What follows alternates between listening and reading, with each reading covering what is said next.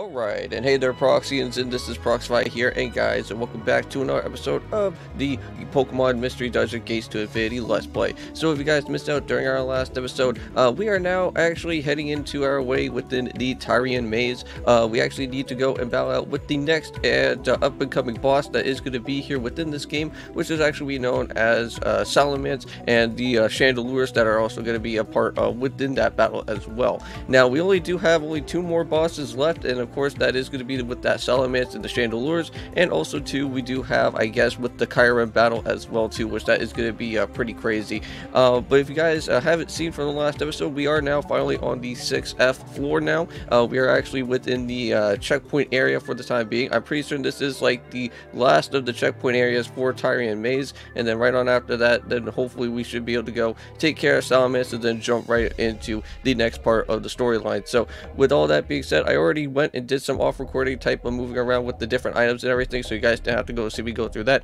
But I know that you guys don't want to go and uh, see me head through the Tyrian Maze, because again, this area is pretty lengthy, and I have stressed that out from before, is that you can't get yourself pretty much lost within this place, even though that it is only just 11 floors, but the areas within them that hold out with all the different floors are very, very, very long, and you cannot figure out exactly or pinpoint exactly where the uh, the steps are going to be. So I'm going to go and just cut that, uh, we'll cut out this other part for you guys, and then we'll jump right into the actual Salamence battle. So I'll see you guys when we actually do get on over uh, to that battle, uh, when we actually do go and cross on over to it. Okay guys, so I am back and here we are. We're finally now on the B11F. We're going to be going and finishing off here with Tyrian Maze and going on and taking care of Salamence. So with all that being said guys, let's go and do this thing.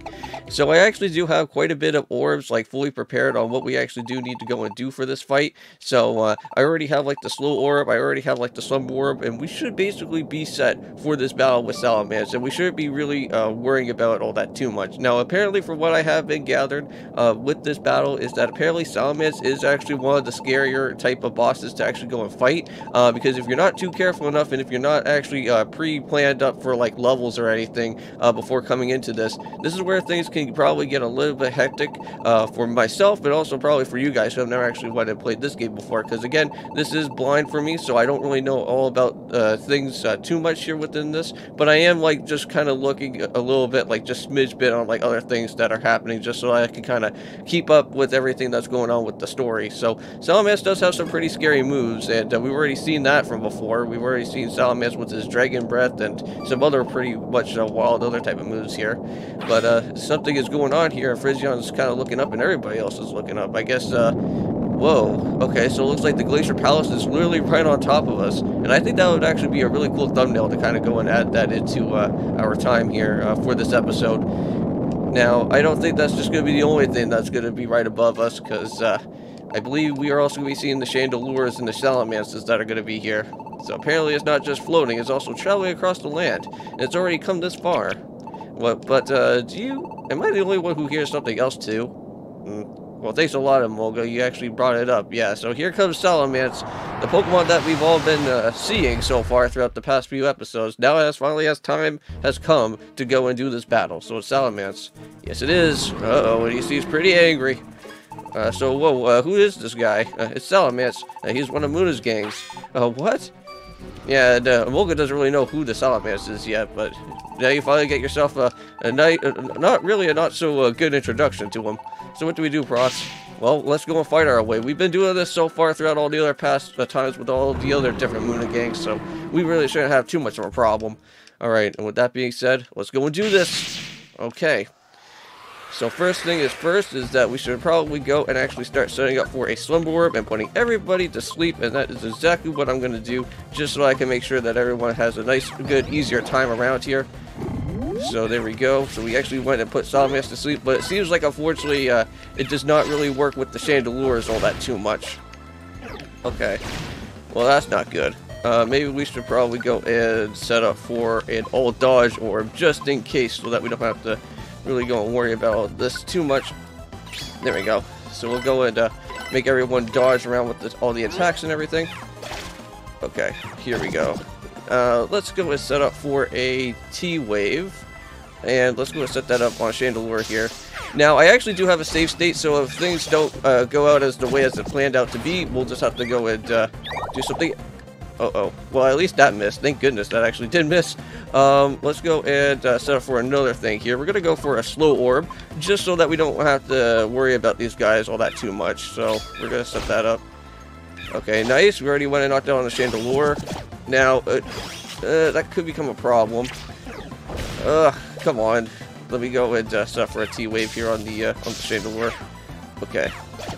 Now, I think I'm going to do one other little quick thing and that is going to set up for an all powered up orb since we actually do have quite a bit of these guys and we're going to actually uh, set this up for uh, everybody else that's going to be here just so that now we should be able to hopefully at least kind of take care of Salamence a little bit quicker okay nice 83 damage that's a little bit nice alright go do your thing for Zion but be careful though um, I'm to set up for a Thunderbolt let's see if that's to do a lot look at that look at that damage that's insane Maybe I should go for maybe one more, but I don't really want to go and waste out on too much of those. Oh, and I, again, I missed it. Oh, and again, come on, guys. Oh, nice. We actually went and taken care of the Salamence. Not a problem. And there we go, guys. That's how we get it done. The power of the orbs are with us here. So sweet. So even though, the, unfortunately, the Slumber Orb and the uh, and the other different orbs don't really work out all that too well on those Chandelures, but you know, it's okay. At least we still have a little bit of some more of the Slumber Orbs within our uh, inventory, and we never really got to use up our Petrified Orb, because we still actually be able to keep that for when we actually do go run into another monster house. So, okay, everybody, let's go and move on. Well, we still got the chance. Whoa, this Chandelier is still, still up. Uh-oh. Um, ah, thug. Oh, no. Oh, well, thank goodness. Espeon came here to save the day. So it's a bit early for uh, to be letting your guard down, Emolga. Espeon, Oh, finally, you guys are here. So Espeon, don't be going sneaking up on me like that. Uh, no, sorry, I mean, uh, thanks for saving me, though. Uh, looks like everyone is still in one piece.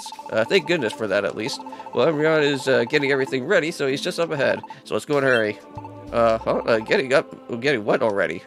Well, we found a way to get to the Gla to the Glacier Palace. Oh, so you did? You mean that uh, you traveled across the sky? Uh, that's like seriously amazing, really. Uh, you two really are geniuses. Well, of course they are. Uh, I don't think I had anything to do with uh, with our genius, though. Uh, well, never mind that now. Just come along with me. All right, well, let's go and follow Espeon and let's see how Umbreon is doing. Yeah, it seems like Umbreon and Espeon know quite a bit of things about what goes on, because again, they are like like um, like I guess like explorers as well too, right? Because they're the ones that actually know everything about the enter cards and the magna gates and everything that goes on. So aren't these the summoning of the magna gates? So Umbreon, you figured out how to go and use the enter cards to reach the Glacier Palace after all?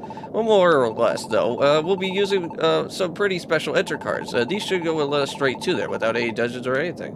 Uh, whoa, uh, I knew that you guys were geniuses. You made awesome enter cards like that. So afraid not. Uh, these enter cards weren't made by the two of us. the cards that we're about to go and use were, are ones that we picked up uh, picked up. Uh, that's right. Uh, we found them among the glaciers, and we were poking them around, uh, or we were poking through the chunks of the ice to fall through the Glacier Palace, and that's where we found these enter cards. So how can that be? Well, basically, Espeon's intuition was exactly right. So if you think back to the first time that we came to the Great Glacier, you remember when we stood in front of the glacier, uh, before the crevices? Right around where we found the signs of the main gate being summoned. Do you remember that? Uh, such a main gate being summoned. Uh, I'm trying to remember that too, but I can't really put my finger on it, but we'll probably have to see maybe a flashback or something around here, right? And then we'll try to use the enter cards in there, and... Oh, right. Okay, now that makes sense. Yeah, because it actually lit up a path, right? To actually guide us into where we were going into next. So the light, it leads straight to the glacier. You know, there's no doubt about it. Well, the, the remains of this main gate, this path used uh, to lead straight to from here to the Great Glacier. Well, what? But that means uh, someone summoned the main gate here, and then made their way to the Great Glacier. So that means someone came here before us. So I can't say for sure, but maybe some Pokemon living around here used something like Enter cards and used this path to get around to the crevices or something. Hmm, so I didn't see that at the time, but thinking about it now, only one Pokemon capable of making that main gate pops into my mind, right? Only one? Yep, and only one. And the Pokemon who's, according to the stories, reached that spot before we did. I'm to probably put my finger on it. Is it probably Keldeo? Oh, uh, you don't mean. Uh, you can't be suggesting Keldeo? Yeah, probably. Yeah, that's right. It has to be Keldeo. Keldeo's the only one Pokemon who reached the Great Glacier before uh, we did. And that old main gate that we found, it would make sense. So if Keldeo used the Enter cards to summon it, then if he did, then that would mean Keldeo is also an Enter card user, and the genius one at that. So Keldeo, the Enter card user? I just can't imagine it. I mean, like all the years I knew him, I never saw him glance at a set of Enter cards, you know? Or perhaps he go and picked up a skill for some reason along the way. Although he appears to have made up his own method, Keldeo has a real gift for it. And frankly, the arrangement that he thought of for crossing the crevices was breathtaking, and the Enter cards that we found this time. Uh, so what? Do you think that those are Keldeo's handiwork too?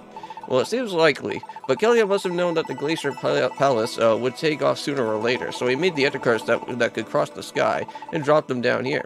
So when Espeon first suggested that we came to check here for ideas, honestly, I was baffled by it. Well, of course, I didn't even think that we even find anything like these cars lying around. Well, my intuition was just about Keldeo, but when I followed on from the conclusion that Keldeo was the Entercard user, I th thought that I might learn more in the place uh, where he passed through. So that was the only guess, but Keldeo alone, while I can't explain why, I knew that I was not mistaken. That's why my intuition told me. Huh. Well, that's amazing. So kind of more uh, like freaky, really. Uh, that intuition of yours, Espeon. Well, at any rate, uh, no one ever heard from Keldeo again, so after the enter of the Glacier Palace. So now that we found these enter cards left behind, it's almost as if they were meant for us. So when you look at it like that, uh, you have concluded that Keldeo is still in the Glacier Palace.